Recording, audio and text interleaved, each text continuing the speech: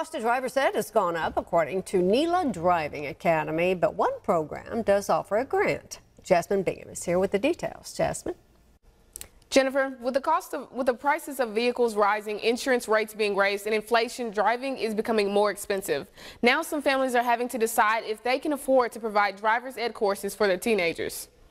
I spoke with a local driver's education student who says, due to the cost, her father and mother weren't able to get their license or provide her with the opportunity to get hers. Alexis Peacock says the cost of driver's ed courses have always been difficult for lower income families. Even now that she is an adult, she is barely able to afford the course. I couldn't really get it because my parents, they couldn't afford it. There was four other kids, so I had to wait till I was old enough to afford it myself.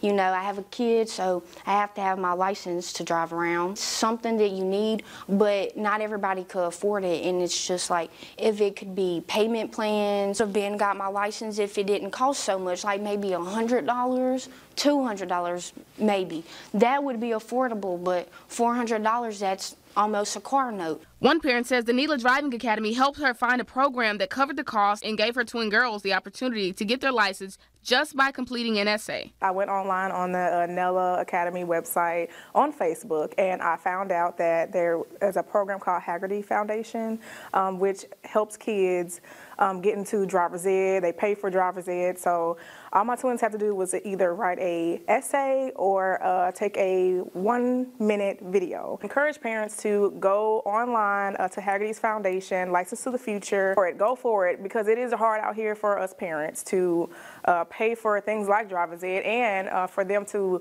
for Drivers Academy to be able to teach your child.